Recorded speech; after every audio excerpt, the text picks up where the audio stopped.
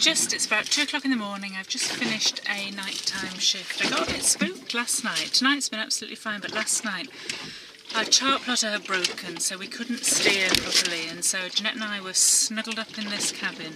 But before we were snuggled up, we were out there on deck with the waves coming roach on, and it was really scary.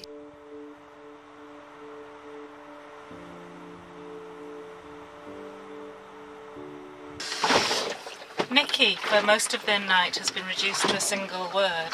Do you want to say it? I have three, because this is pure hell. The storm is raging on outside, and we're a bit bored. aren't We're a bit bored and it stinks of biltong in this cabin. I've eaten all the chocolate except one chocolate bar.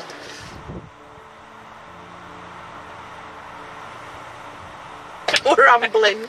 We're rambling. We're rambling because that's all we've got to do.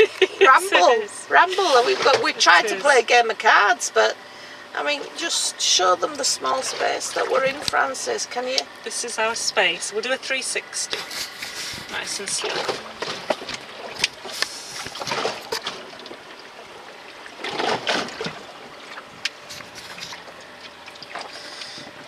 That's us. That's us.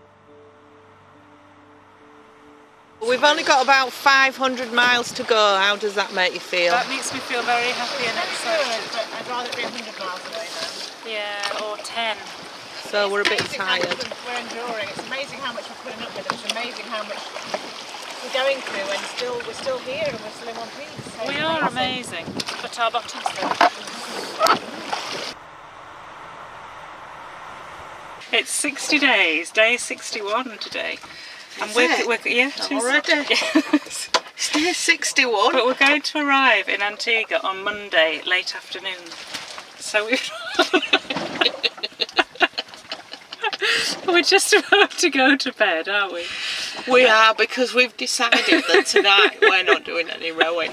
We're going to stay in this cabin and we're going to leave Frances and Nikki out No, there rowing because they've done that.